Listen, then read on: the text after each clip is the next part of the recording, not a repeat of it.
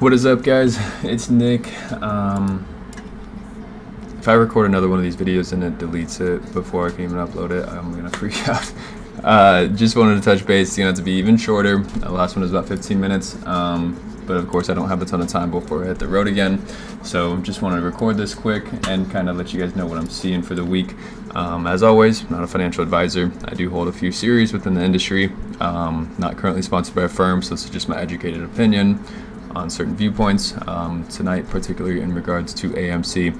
So, kind of mentioned last week that that weekly candle was a huge one for me. So we'll hop into that, cover some micro, um, and then expectations for this week. So, just to get into it real quick, um, extremely good close on Friday. I, I, know that like a 61 cent day doesn't seem like a lot, uh, but that's kind of what happens when you carve out bottoms and institutions want to um, accumulate shares or go out and tweet saying they uh, enjoyed going to the theaters when they have been clearly bashing it all year, over 52 weeks. Um, but yeah, thanks Citadel. That was, that was, a nice candle for you. Um, I hope you enjoyed that one and, and appreciate the the free advertisement there. So outside of that, uh, big retracement pulled the supply. Um, just as I've been saying, that's what market makers do uh, in order to basically control breakouts um, best that they can. And when you got people like CBOE, Chicago Board of Options Exchange, just kind of, oh, we're, we're just going to suspend routing for a good 15, 20 minutes right after this breakout. So we're just going to suspend derivatives. We're one of the, one of the biggest um, option boards in the country, but let's just suspend uh, derivatives only to NYSE, nothing else. Um, input error, whatever. Anyways, uh, different story, different day. But anyways, that uh, definitely affected some of this. Brought it down, and then you can only park orders for so long, last 30 minutes to 15 minutes. We get our explosion up back into this channel, um, and then close right below the 50, which is huge. Broke over it, um, broke over this green line too, uh, which was just a good confirmation line on, on a breakout. But of course, they shorted it down, pulled the supply once again, carved it out. last 15 to 30 minutes, we shot back up. So interesting after hours, 12:20. Uh, there's a lot of stuff that goes into the, into this here, but um, I'll cover the macro real quick just so you guys can see what I was talking about. So here's 10 year one week. Again, these are the same lines. We are just looking at the green yellow uh, micro chart lines. So 1776, 1884, just some key figures for me.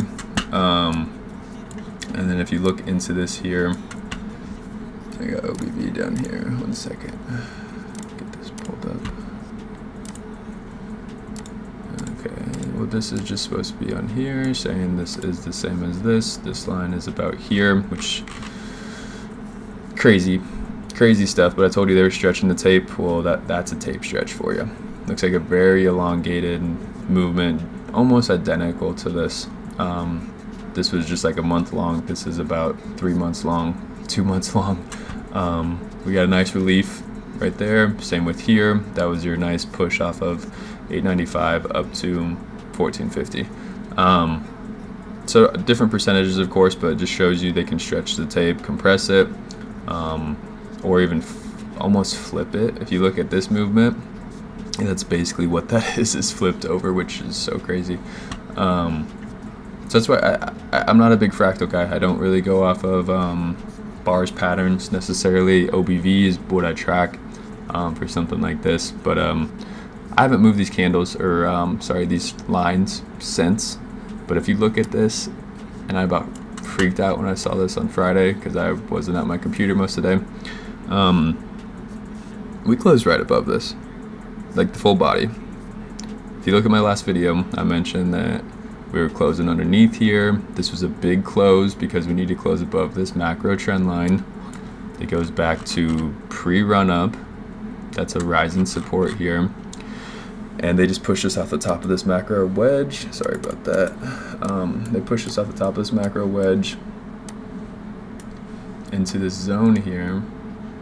That was just so aggressive um, pushed us off the top of this macro wedge into the bottom of it and then pressed up and closed above it. So massive weekly close, literally couldn't be lower, but I mean, I'll take it.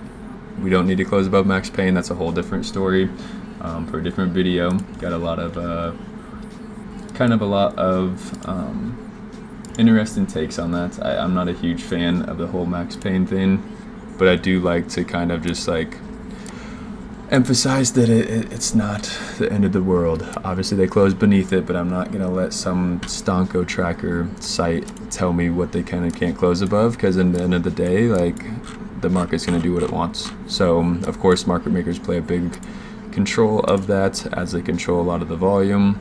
Um, but it's, it's not something that I lose sleep over or think that we lost because we didn't close above it. So, um, that's kind of the macro. Massive, massive close. So I'm expecting some big movements this week. Um, kind of hop into that real quick and then uh, we'll wrap it up because I do not have a ton of time tonight.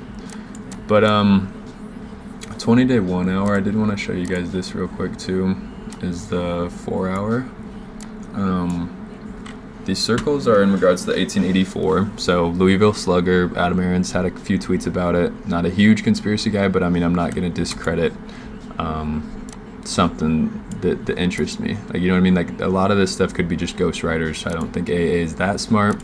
I do like him, um, but the 1884 is just too significant of a line for me, and I showed you on that macro um, how far it goes back. So Here's our first true break of 1884, trying to get back into the macro wedge. Uh, shorter asunder, same thing. They use that 200 to kind of suppress it back down. Um, and shorted off the top once I got it under the 50. So anytime we're above the 50, we're dangerous. Um, but here's the third one, break over 1884, held it, retraced, consolidated, and broke just straight through the macro wedge. Um, so when this does go, this movement right here is eerily similar to this right here. So you go up, consolidate, consolidate, and then maybe one more day, and then we'll break out of this macro wedge again. So this is one, two, three. Obviously, we're a bit away from that fourth break on the 1884, but I promise you it's going to be something nasty like this. So what I suspect is a similar movement to this kind of starting maybe not tomorrow. We might have a consolidation day again, um, or or close right under the 50 on the four hour, which is like $13, 12.50 range. So somewhere between there tomorrow, and then Tuesday and when no, yeah, Tuesday is your delivery off of Friday. So Tuesday could bring some fireworks, kind of a break over that 50, maybe something kind of like this, where we break here, break here, and um, we want to close like maybe 1450-ish on Tuesday, or we could close right underneath the macro wedge. But Wednesday and Thursday is when I'm really excited about this model, which is awesome because it's right, right before your 520 expiration. So I'm calling for anything between an 1884 close, or not close, sorry, 1884 breakout up to 22.5 this week um, off of this break. Whenever this does go, we'll test that 200, maybe come down and then Thursday go, or it could be sped up and we could be doing this by Wednesday. So just some um, little bit broader movements, but on the four hour, four to probably a, a four to eight, maybe 10% day tomorrow. I'll accept anything more than that, of course, um, but nothing too wild tomorrow.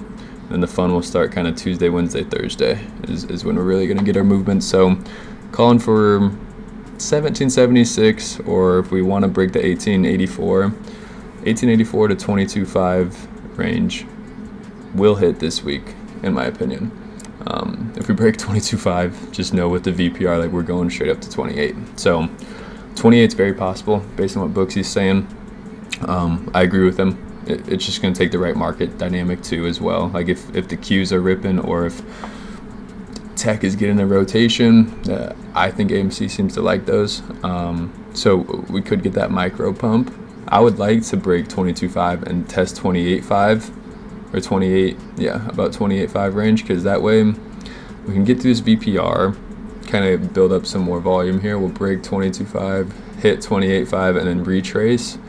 Maybe all the way back down to 22.5. I don't know if we need to go that deep, but we do need to fill some VPR in this range. So really what I want this week is an 1884 to 22.5 close. Somewhere in between there would, would be phenomenal. Um, So that's what I'm looking at. And then if we want to break out and markets are moving quick, like we could test 28. But um, really think if, if we break 28, obviously you got 34, um, 33 range that we've all been talking about. So just taking it day by day. Wanted to hop in, tell you what I'm looking at here. Um, I'm in the Discord almost almost daily in the live trading section where I stream my screen, um, chat with Rico. Uh, he's, he's, just put together like a really good community uh, to focus on improvement, knowledge building, and an application of that knowledge. Because people always say knowledge is power, but that power is only given if you apply the knowledge taken. So big thing there is kind of something we stress uh, trading off of logic not emotions not rushing trades um, a lot of good stuff in there so slight plug but had to put it in there that a lot of this uh, between the lines reading stuff can can be clarified within there because i'm in live answering questions or constantly in the chat so check it out. I'll, I'll, put it in the description below, and um, yeah, we'll see what this week brings. But I'm, I'm really, really hopeful for some big movements finally rotating in our direction. Something very similar to this movement here, followed by something like this next week. So appreciate you tuning in.